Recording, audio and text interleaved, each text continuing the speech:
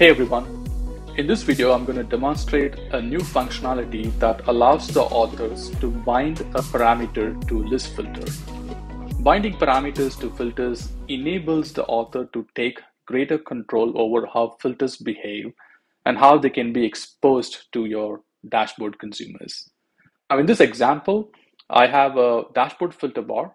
Order priority is a list filter when you open up the list filter, you can see a new experience that we have added in to bind a parameter to this list filter.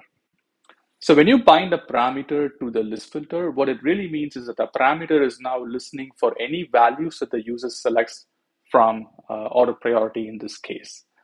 And uh, depending on the parameter definition, the parameter can accept or reject the values that the filter is sending to the parameter that it's bound to. Now, there are two ways to bind a parameter to a filter. You can create a parameter from the parameter panel, or you can open up the list filter, click on the binding UI, and we've exposed a quick action link that allows you to create a parameter. When you hit on create parameter, this is going to automatically create a parameter in the backend, and it's also binding the parameter to this list filter. Now let's open up the parameter definition and review it. And you can see that the parameter is very simple of text data type and the possible values is set to any, which means that any values can be accepted by the parameter and there's no initial value. Now at this point, because the parameter is set to accept any possible values, any filter values that the users select is passed to the parameter. And you can confirm this by dropping the order priority parameter onto the filter tab on the top. And you can see that the parameter is now holding critical and high as values that the user selected. So when you create a parameter of possible type as uh, any in the definition, the parameter and the filter will always remain in sync. Now, let's go and change the parameter definition to accept specific possible values. I'm going to say that the parameter can only take in critical and uh, let's just say high, right?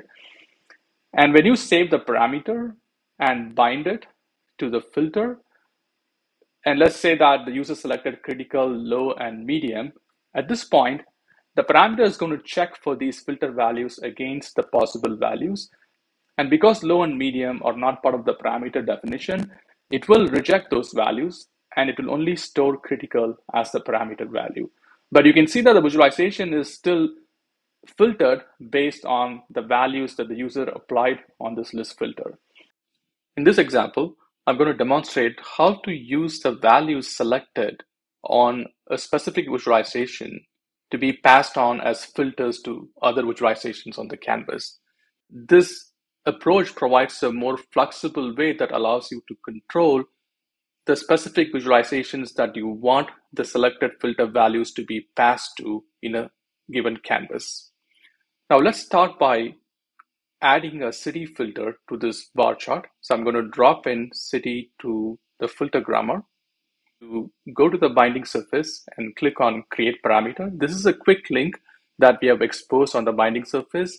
And when you click on create parameter, you can see that a parameter is automatically created behind the scenes and the filter is also bound to the parameter that we just created. Now let's go ahead and open the parameter definition. And you would notice that the parameter definition is pretty simple. It's creating a possible value as any, which means that this city parameter can hold any values that the filter is going to send to it.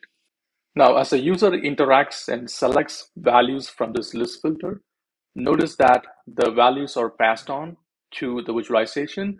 At the same time, if you were to drop the city parameter as a filter column, Uh, you can also see that the values of the parameter is also set to the values that the filter was set. And this is because the parameter is set to accept any possible values from the list filter. Now, our goal with this exercise is to be able to pass these city values to selected visualizations on the canvas. Now, to do this, I don't want to pass these values to my tile visualization, but I do want the city values to be applied as filters to this bar chart, uh, which shows the sales by customer segment and city. So I'm going to select this bar chart, and I'm going to add an expression filter. Let's call this as city filter.